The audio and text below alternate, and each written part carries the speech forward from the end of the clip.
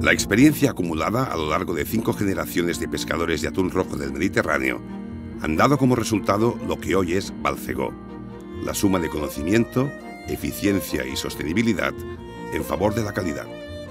Los principios que alientan a Balcegó son claros. No pescamos. Mantenemos a los atunes bien alimentados de acuerdo con sus pautas naturales. Solo los sacamos del mar para su consumo en las épocas que lo permite la legislación y únicamente bajo demanda. Una idea sencilla que solo es posible gracias a unos procesos dotados de la máxima innovación y rigor.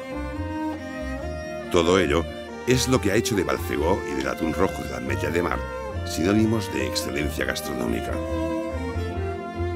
A continuación, nuestro especialista de Balcegó les dará algunos consejos sobre la recepción, limpieza y saneamiento del atún rojo del Mediterráneo para disfrutar al máximo de su calidad. Eh, a continuación explicaremos el mantenimiento del producto una vez recibido. En primer lugar, es importante comprobar que la mercancía sea la correcta. Abrimos la mercancía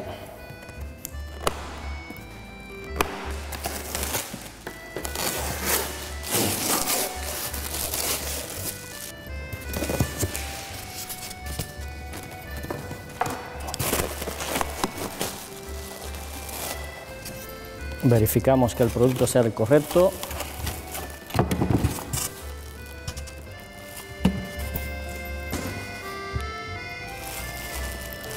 Inmediatamente procedemos a quitar el envoltorio y seguido de su limpiado y secado.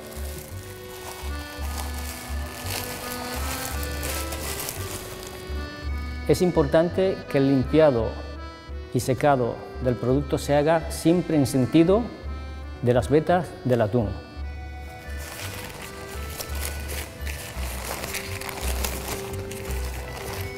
Cogemos papel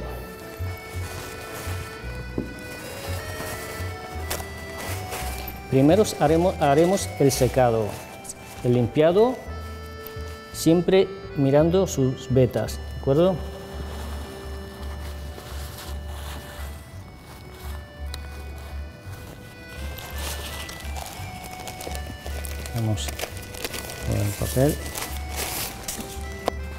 Que no quede ningún resto de escamas.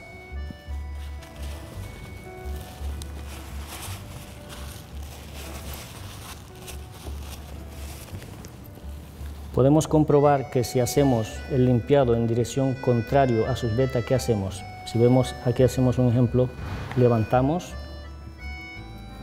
que vemos que estamos haciéndolo mal.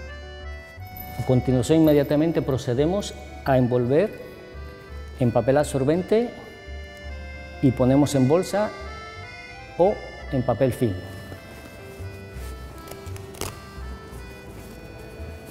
Cogemos el papel, este papel tiene dos caras, una que es lisa y una arrugada. La parte lisa siempre tiene que ir a la parte de la carne.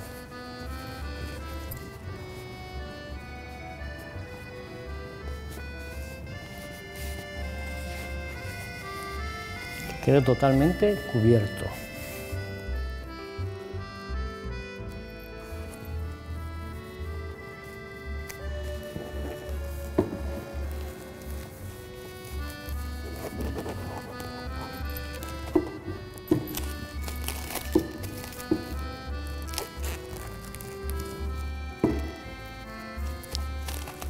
En este caso lo hemos envuelto en film o podemos poner una vez envuelto en papel absorbente en una bolsa. Una vez terminado el, envoltorio, mantenemos posteriormente en nevera. Si el mantenimiento es el correcto, alargaremos la vida del producto.